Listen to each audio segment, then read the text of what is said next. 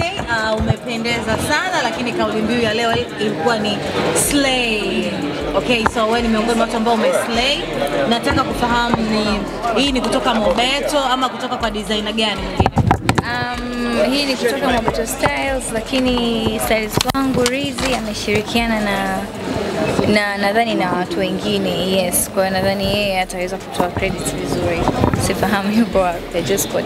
Pengine ilikuwa, Yeah. ilikuwa special sana mpaka ikabidi uh, watu wako pia washiriki na watu wengine kwa ajili ya kuhakikisha ile vazi leo linakuwa ni la kipekee.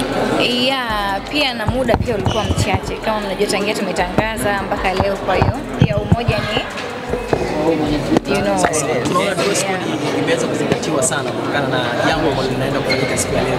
Unaweza kutueleza kwamba dress code leo imeweza kugharimu kiasi gani? Um, bahati mbaya ama nzuri, mi sio mwaga mtu ambaye natajaga bei ya vitu vyovyote, lakini kwa sababu kwa biashara yangu mi pia ni mfanya biashara wa mitindo, kwa hiyo sipendagi kutaja bei kwa sababu wengine inaweza ikawakaribisha, wengine ikawafukuza, na nawajali wateja wangu. Yani nguo tu nzuri ambayo imetengenezwa na Watanzania na katika bei affordable.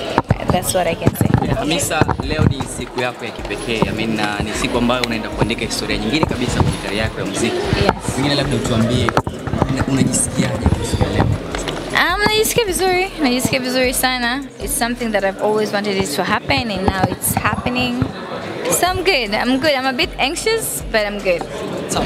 Ni EP yako ya kwanza tu kuanza harakati za kimuziki. Tunafahamu kuna kitu ambacho kinakwenda bila changamoto. Changamoto gani ambazo ulikutana nazo wakati unaandaa hii kazi na mpaka kuweza kukamilika? Ilichukua muda gani na hizo? Um, changamoto ni nyingi sana kwa sababu nilikuwa nataka nitoe EP kama mnakumbuka tangia mwaka jana, lakini kuna changamoto za hapa na pale ambapo sidhani kama leo ni siku sahihi ya kuongelea, lakini zilikuwepo. Kitu chochote kizuri hakikosi hakikosi yani kuheka heka. Kwa hiyo ya, kwa hiyo zipo, lakini tunamshukuru Mwenyezi Mungu, siku imefika and we are here today. Yeah. Baada ya EP unatarajia kuachia labda album Yeah, lakini sio kwa sasa. Okay, uh, jina la EP yako ya True uh, ni mtu anaweza akatafsiri haraka kama kuna kitu umezungumzia kwenye maisha yako. Uh, hilo jina limekuja kwa sababu linahusu maisha yako ama limekuja kwa sababu ya ngoma ambazo umezifanya? Um, yours truly, kwanza nadhani kifasaha kabisa, Kiswahili fasaha labda ni, ni kama wako mtiifu like, ni kama mimi kwenda kwa mashabiki zangu, kama mimi hapa Hamisa kwenda kwa watu ambao wananisupport katika mziki. Tulifikiria majina mengi sana sana sana sana, e, nikaona kwamba yours truly imekaa kimimi yeah. Ipi ina ngoma ngapi labda na umefanya kolabo na wasanii wangapi? Maana tumeona pia Omid Post, tunategemea maybe labda kuna kolabo na Post, tumeona Young Lunya, Lulu Diva ama imekaeje?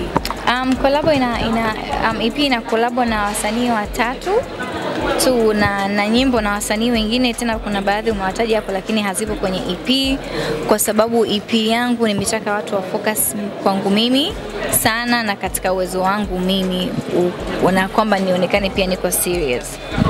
Yeah. Uh, katika hizo kolabo ambazo umefanya mm. wasanii pia wako hapa siku ya leo ama hawapo? Yani sadly wasanii wote ambao nimefanya nao EP hawapo hapa kwa siku hii ya leo, kwa sababu mmoja yu, anakuja wiki ijayo, mwingine ana amesafiri, mwingine yupo nchini kwao ambapo anakuja kushoot video nafikiria pia I think after next week.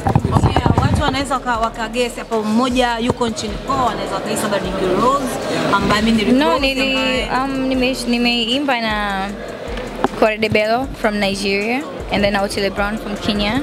Mwingine ni hapa yuko siri ndani watu watajua. Yeah. Sasa uh, leo kwenye moja interview yako ulizungumza kwamba tayari umeweza kufanya kazi na Rick Ross na ila bado time haijafika kazi hiyo itaachiwa. Ni EP yako ya kwanza inakutambulisha. Kwa nini uh, kazi ile usingeiweka huko? Um, kwanza nilivyosema kazi sikusema kama ni mziki, nilisema project. Nakumbuka kila kitu nachokiongea katika maisha, so sikusema ni mziki, na pia nikasema pia when it comes to music, kila msanii ana management yake na utaratibu. Kwa hiyo kama jambo limepangwa, basi kama Mwenyezi Mungu amelipanga, naamini siku litafika. since kabisa umeanza kusikika kwa muziki, watu wako wanatoa negative comment nyingi sana. Mm. Hamisa kama ma autotune mengi, mm. vitu kama hivyo, lakini still wewe kama haujakata tamaa ukaendelea kupambania muziki wako, ni kitu gani hasa ambacho kinakupa nguvu ya wewe kuendelea kufanya? Um, kwanza kabisa mimi huoga na naangalia positivity than negativity. I focus more on positive things and positive matters. And what I can say is watu wengi sana wamenisupport, wengi sana nawafahamu, na ndio maana hata kazi zangu ukiziangalia katika digital, digital platforms zinafanya kazi vizuri sana. Kwa hiyo mimi I focus on more katika watu ambao wananipenda kwa sababu wanaonichukia siwafahamu na sidhani pia pia kama natakiwa ni, ni wajali. You understand? Speaking of that, Hamisa, kuna mtu yoyote kahusika kuandika ngoma yoyote? Maana Uh, mimi jamani, Shukria, I have to go honey. kuna mtu kakuandikia Ni Hamisa Mobeto akiwa katika hatua za mwisho kabisa za upigaji picha kabla hajaweza kuingia ndani kwenda kusikiliza EP yake ambayo ameweza kuandaa maalum kabisa, na jina la EP likiwa linakwenda kwa jina la Yours Truly, ambayo mwenyewe pia ndo ameweza kuipa EP yake jina kama hilo. Uh, wageni mbalimbali waalikwa ambao tayari wamealikwa tayari wameshakusha kufika ndani wakiwa wanamsubiria muhusika wa EP ya siku hii ya leo, ambaye yeye ndo ameweza kutukusanyisha hapa wote kwa pamoja. Aa, kama ambavyo unavyozidi kuona